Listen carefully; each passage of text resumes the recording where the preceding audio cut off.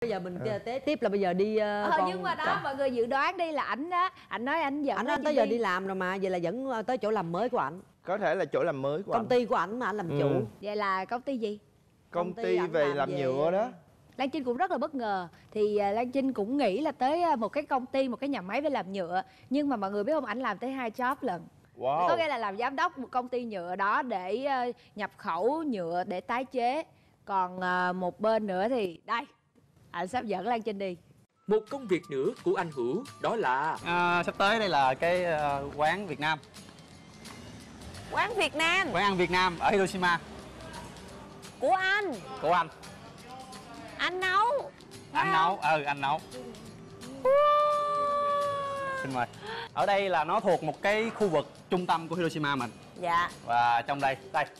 Minh Thiện. Minh Thiên Minh Thiên đúng anh Hữu có một quán ăn chuyên bán món Việt Nam ở khu trung tâm Hiroshima. Ê, đúng. Yeah. Đâu rồi?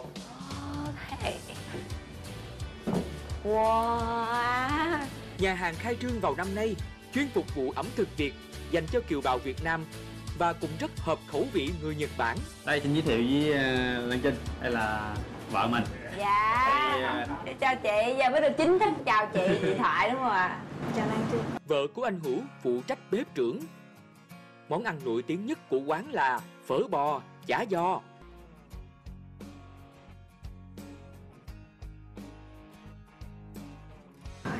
Muộn lên. Em thử cái cọng bánh trước nha. Đúng rồi.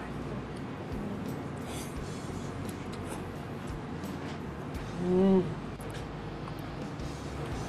nói chung là là có vừa khẩu vị của mình không? Thật sự rất là ngon. Giống phở của Việt Nam em nghĩ là ừ. 95 phần trăm. phần trăm thôi vậy được rồi. Thiệt.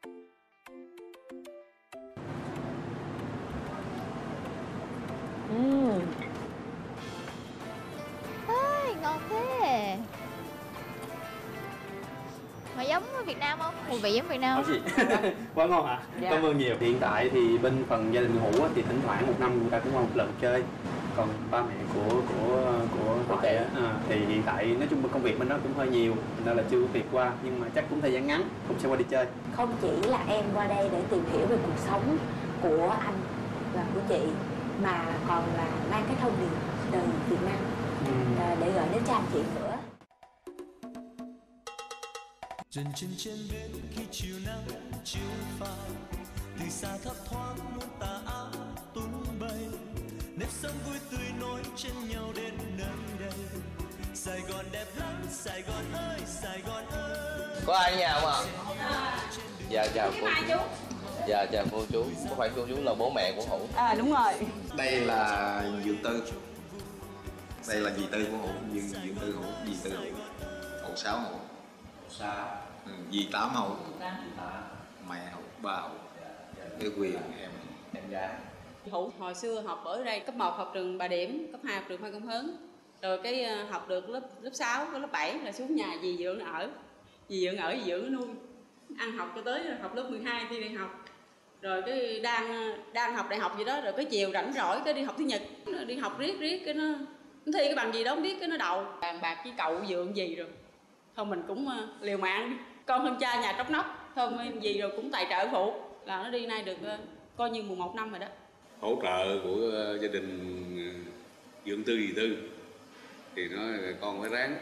Thật ra cuộc sống của cha mẹ con thì à, từ một nông dân lao động thì không có cách nào bằng vượt lên từ chính mình là phải là từ cô hợp văn tôi nói chú nghe nó qua bệnh nó đi xong tôi đi tôi nói ngậm ngùi tôi nói thương quá là thương nói cái đi qua bển xong tôi tôi chờ.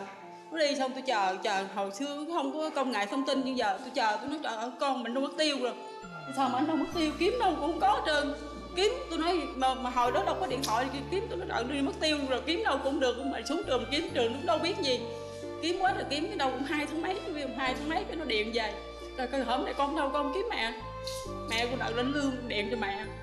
Nó con đợi lên lương điện cho mẹ.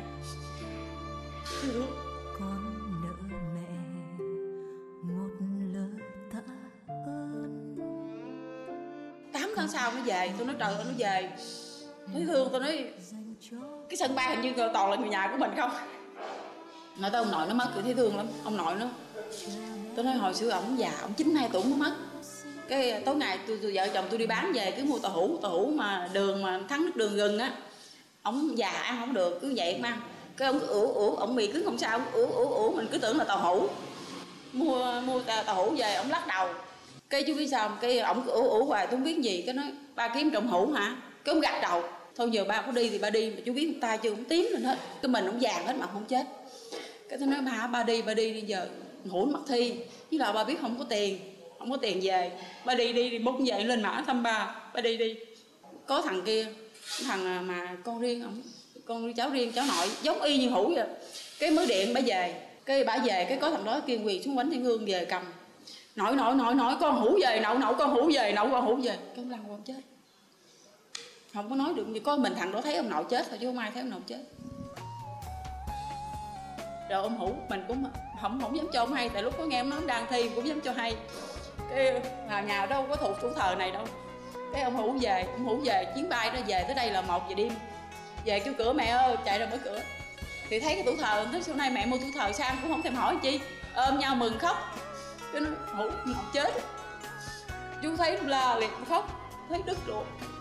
Là nói về là mới mới làm đám trăm ngàn có hai ngày ông nội bà nội mất 90 92 tuổi. Về thăm quê thăm nội tóc đã bạc phơ.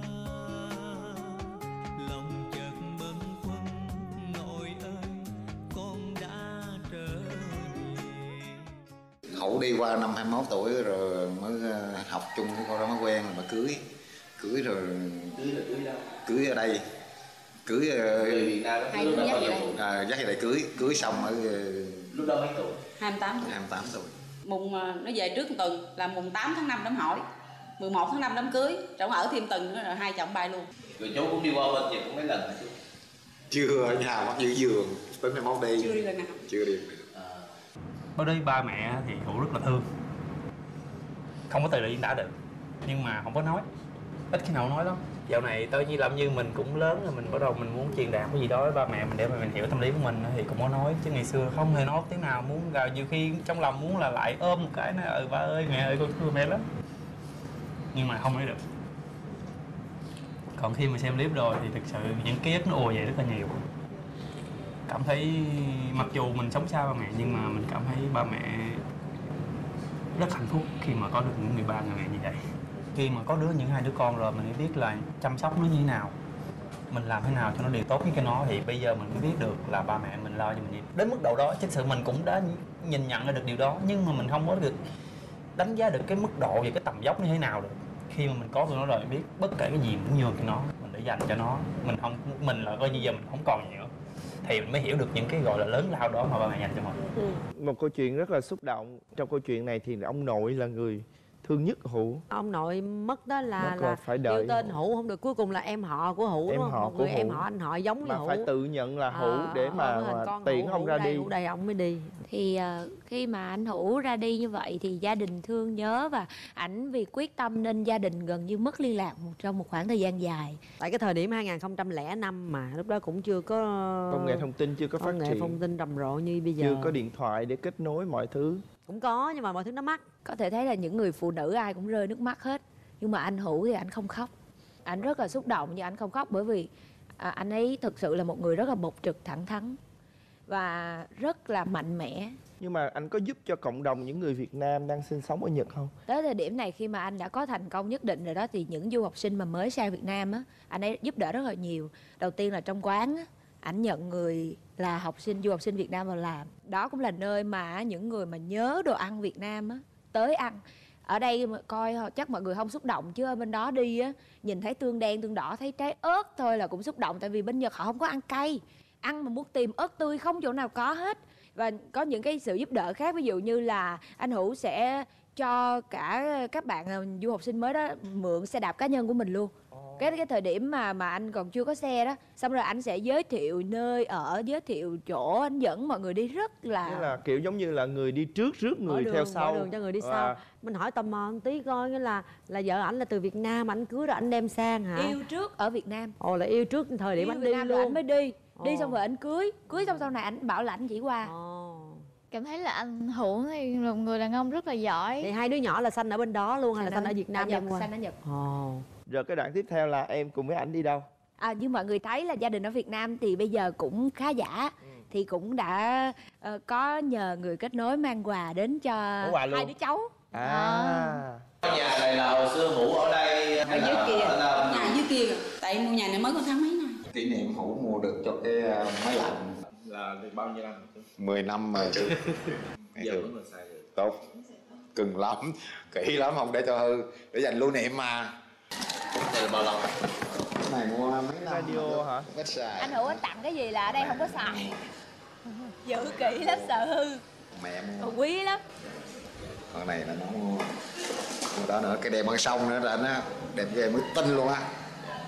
Này là cái cái cái hộp què bốn năm năm rồi đó. Mua cho ba chơi mà ba không chơi. Cho để dành dặn đừng mua nữa. Đó mua này là đừng thuốc nè. Nhưng mà có xài chưa? Không đâu có xài. Tôi đâu có thuốc nữa. Kỷ niệm của con Mới.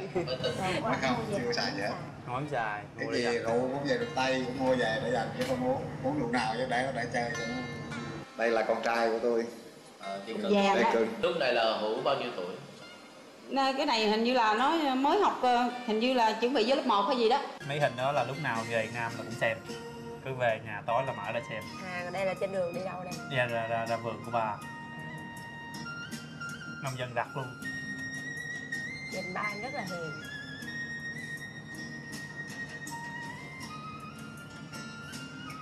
Đây là một cuộc sống hàng ngày của bố mẹ Hữu. Nói chung là vào mỗi buổi sáng. nói văn không á đây là cái vườn mà Dạ, dạ, ba dạ, Hữu là đang trồng. nói chung là ba mê làm vườn lắm thành ra cái vườn này ba đang cứ chăm sóc nó để lấy măng á. Dạ, ở gần bà điểm luôn á. Gần nhà luôn á. Đồ phụ mấy bữa mà nó đi cả ngày nó không có đi về đi có công ty cái nhà nhà phụ để măng đi đồ. Nói tóm là là hồi nhỏ thương nó một mặt ở nhà thì thường rồi phải không? Sau này nó đi qua bển nó làm á về mừng thì ít. Mà nó đi rồi buồn thì nhiều gấp 10 lần hơn là nó đi nó về á.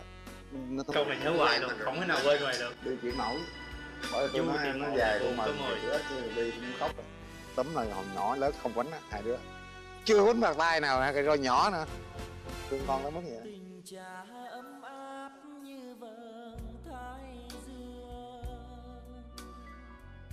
ngọt ngào như dòng nước trôi một gia đình mà những người đàn ông luôn ờ, hết mình vì công việc. Gen di truyền. Tại vì cái căn nhà mới mà đang xây nè là không nhận tiền của anh hữu và xây cho tới bây giờ xây lên vậy là anh hữu chưa biết luôn á. Tới cái lúc mà coi clip mới thấy ồ cái nhà vậy vậy vậy vậy chứ là chưa biết cái nhà. Thì bây giờ giống như là mình nhắc nhở để cho cái tết này cả nhà sẽ về thăm ông bà về thăm lại quê hương nguồn cội